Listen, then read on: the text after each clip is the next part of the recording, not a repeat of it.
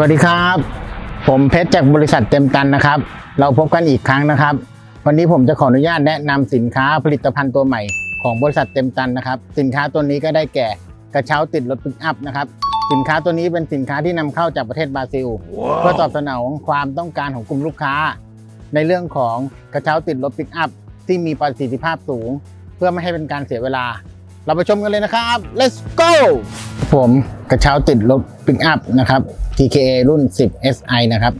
เป็นสินค้าที่นำเข้าจากประเทศบราซิลนะครับ ถูกผลิตและออกแบบตามมาตรฐาน ANSI นะครับ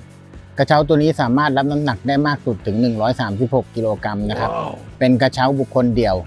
ทำงานได้ที่ความสูง 10 เมตรนะครับ แล้วก็ในแนวระนาบได้ 5 เมตรนะครับ ผมแล้วก็มาถึงเอ่อแขนบูมและใบกระเช้านะครับของ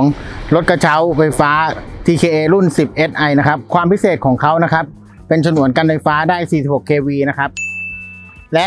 ข้อดีของเขาอีกข้อหนึ่งคือชุดกระเช้าเนี่ยสามารถหมุนได้ 360 องศานะครับ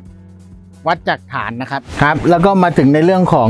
ออชุดคอนโทรลกระเช้านะครับ จริง ๆ แล้วเนี่ยชุดคอนโทรลกระเช้าเราจะมีด้วยกันอยู่ 2 จุดนะครับ คือจุดที่ฐานและจุดที่ในกระเช้านะครับ ผมจะขออนุญาตมาแนะนำกันก่อนเรื่องของจุดที่ฐานตำแหน่งของเขาอยู่ตรงนี้นะครับ ก็จะมี control นะครับ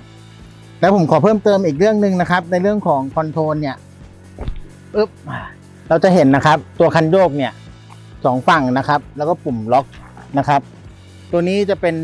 เรื่องของ control ของขาค้ำยันนะครับ ตามที่คุณเห็นนะครับ เราจะแยกออกกันนะครับ ฝั่งหนึ่งก็ต่อตัวหนึ่งนะครับ ก็จะมีอยู่สองฝั่งนะครับ ซึ่งจะทำงานแยกระบบกับตัวชุดคอนโทรลกระเช้านะครับ ครับผมเป็นอย่างไรบ้างครับ กับกระเช้าติดรถปิกอัพสินค้าตัวใหม่ของเรา ถ้าหากผู้ชมท่านใดมีข้อสงสัยเกี่ยวกับกระเช้า TKA รุ่น 10 SI หรือนอกจากผลิตภัณฑ์ตัวอื่นของบริษัทเต็มตัน ก็สามารถติดตามได้ตามข้อมูลด้านล่างนี้เลยนะครับ ครับผมและก่อนจบคลิปนี้นะครับ อย่าลืม